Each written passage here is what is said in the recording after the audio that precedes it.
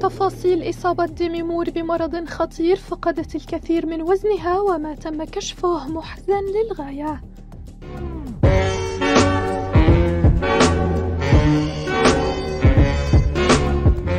ضجت مواقع التواصل الاجتماعي والصفحات المهتمة بأخبار الفنانين خلال الساعات الماضية بإصابة الفنانة العالمية ديمي مور بالمرض وخسارتها للوزن. وفي التفاصيل كشفت الممثلة الشهيرة ديمي مور عن تشخيص إصابتها مؤخرا بمرض الهربس النطاقي إذ أصيبت أثناء استراحة من تصوير فيلم The Substance. وتلعب مور في فيلم الرعب الجديد المقرر طرحه في دور العرض يوم العشرين من سبتمبر أيلول 2024 دور البطولة إلى جانب مارغريت كوالي إذ تجسد دور سيدة تدعى إليزابيث والعمل من إخراج كورالي فارغت. Ready for her big don't shoot.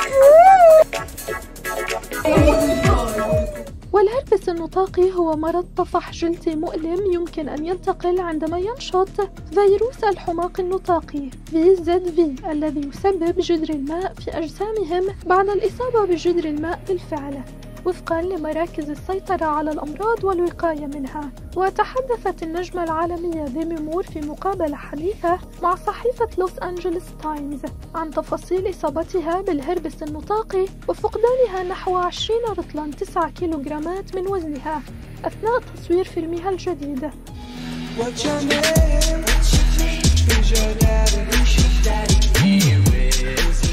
وقالت مور إنه تم تشخيص إصابتها بالهربس النطاقي أثناء استراحة من تصوير الفيلم لمدة أسبوع.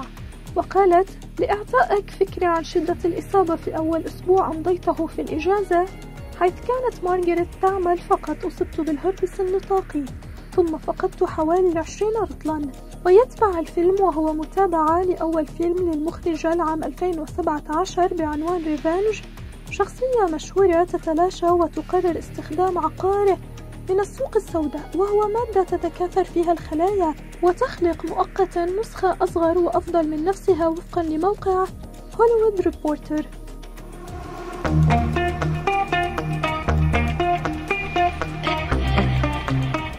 وقالت مور عن فيلم The Substance الذي من المقرر عرضه في دور العرض خلال أسبوعين إن ما تفعله المرأة بنفسها هو الأكثر عنفا.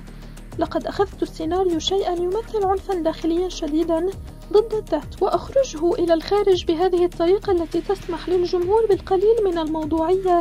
ثم رؤية ما نفعله بأنفسنا من خلال هذا النقد القاسي المستمر والمقارنة.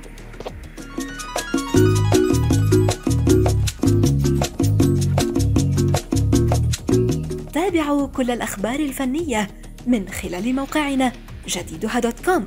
واشتركوا بقناتنا على يوتيوب لتصلكم أخبار الفنانين.